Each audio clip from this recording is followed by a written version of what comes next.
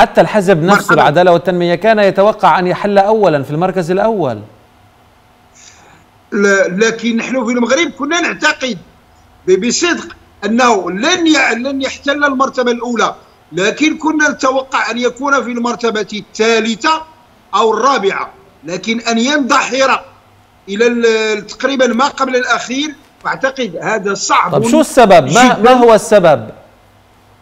السبب الأساسي هناك نسبة من التسويت العقابي بالإضافة إلى الأخطاء الكثيرة التي ارتكب حزب العدالة والتنمية المغربي في حق المغاربة فهو قد أجهج على كل الحقوق المتبقية للشعب المغربي الذي يعاني. وأعتقد هذا بالأساس المعاناة الأولى. طب هناك جدل حول هذه القضية أستاذ عبد الرزاق أيضا أنه هل الأسباب العقاب تتحدث عن معاقبة الناخب المغربي لحزب العدالة والتنمية بالتحديد؟ آه، هل بسبب ملفات خارجية أو داخلية؟ خلينا نحكي بشكل مباشر. هل موضوع التطبيع مع العدو الصهيوني هو الذي أسقط العدالة والتنمية انتخابيا وذبحه بهذه الطريقة أم لا؟ الفشل الداخلي التعاطي مع ملفات داخلية قرارات لا شعبية.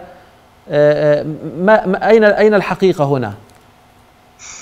يمكن أن نحدد باختصار أن الجزء الكبير يعود إلى أولا إلى القرارات اللا شعبية التي اتخذها في حق المغاربة بالإضافة إلى ملف التطبيع باعتبار أن سعد الدين العثماني وحكومة العدالة والتنمية المغربي كانت تجر إلى التوقيع مجموعة من المعاهدات من بينها اتفاقية التطبيع دون أن يكون لها رأي أو قرار.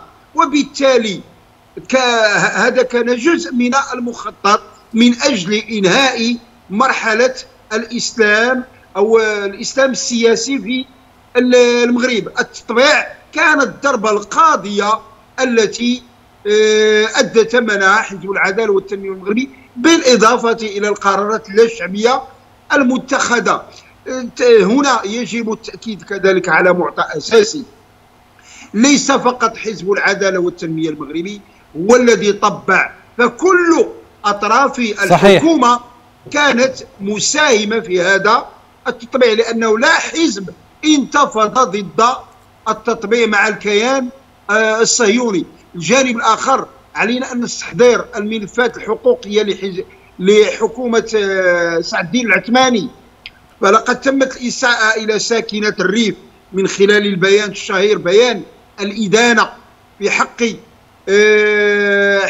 مناضلي حراك الريف الذين تمت تصفيتهم قبل أن يقول القضاء كلمته ملفات أخرى اعتقال الصحفيين اعتقال الحقوقيين تضييق على الحقوق والحريات التراجع آه، الكبير في مجموعة من المجالات. ناهيك على أن الحقوق الأساسية التي يجب أن يتمتع بها المغربي لم تعد تتوفر له.